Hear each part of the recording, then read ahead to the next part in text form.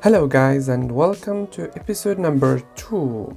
If you're texting while walking, sending emails during meetings, or chatting on the phone while cooking dinner, so you're multitasking, or you think you are. But guess what? Chances are you're not doing yourself any favors by multitasking your way through the day. You know why? Because it's not nearly as efficient as we like to believe and can even be harmful to our health. In today's episode, we're gonna talk about 11 reasons why you should stop multitasking and rethink the way you work, socialize, and live your life. So get your cup of coffee and let's get into it. Reason number one, you're not really multitasking. What you call multitasking is actually task switching. Because when it comes to attention and productivity, our brain have a finite amount. It's like a pie chart and whatever we're working on is gonna take up the majority of that pie. There is not a lot left over for other things, with the exception of course of automatic behaviors like walking or chewing gum.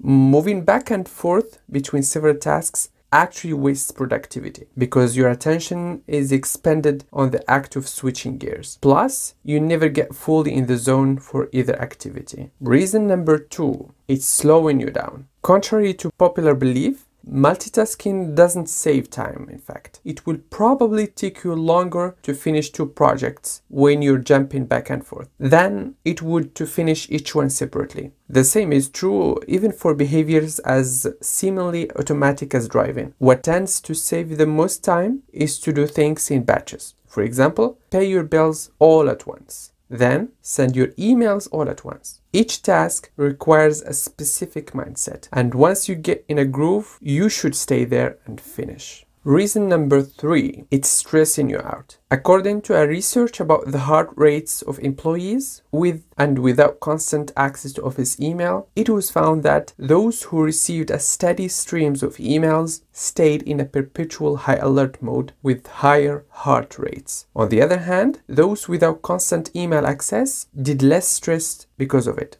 And you know what? It's not only the physical act of multitasking that causes stress it's the consequences as well. Let's say if you do poorly on an exam because you studied while watching a football game on TV, that can certainly trigger a lot of stress, even self esteem issues and depression. Reason number four you're missing out on life. Forget seeing the forest for the trees or the glass half full. People who are busy doing two things at once don't even see obvious things right in front of them. For instance, a college in Washington had run a funny experience and it was found that 75% of students who walked across the campus square while talking on their cell phones did not notice a clown riding a unicycle nearby. This is called inattentional blindness, meaning that even though the cell phone talkers were technically looking at their surroundings, none of it was actually recording in their brains. Reason number five, your memory may suffer.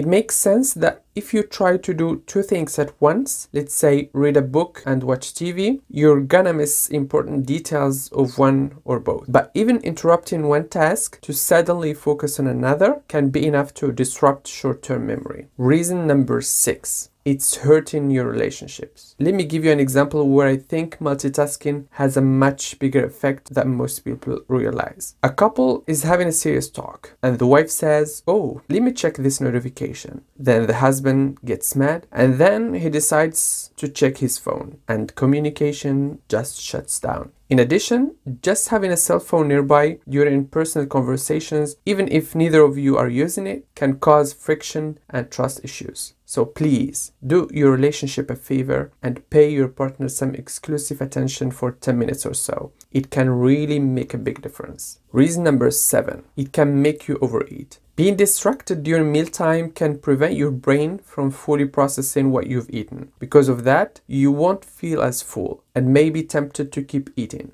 and to eat again a short time later. And even people who eat alone should refrain from turning on the TV while eating and to truly pay attention to their food. It's really highly recommended to take a break from the screen to focus on each bite. Reason number eight you're not actually good at it. You may think you're a master multitasker, but trust me, you're probably among the worst. According to a recent study, it was found that people who scored highest on multitasking tests do not frequently engage in simultaneous driving and cell phone use probably because they can better focus on one thing at a time. Those who do talk and drive regularly, however, scored worse on the tests, even though most describe themselves as having above average multitasking skills. Reason number nine it's decreasing your creativity. Multitasking requires a lot of what's known as working memory or temporary brain storage. And when working memory is all used up, it can take away from our ability to think creatively.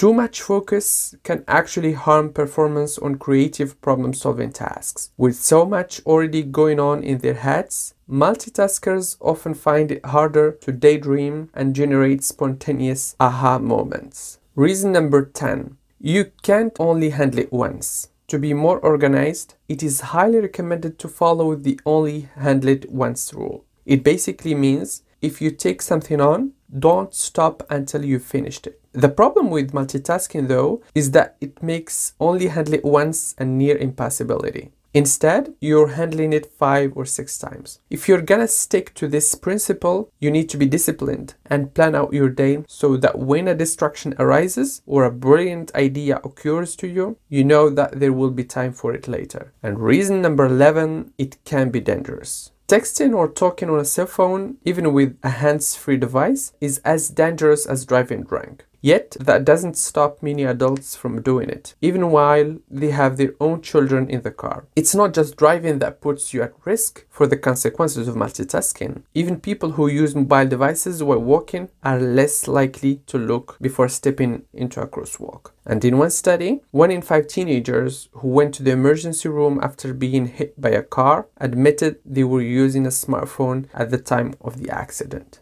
So guys, this is it. Thank you so much for listening and please share your thoughts in the comment section below and see you next time.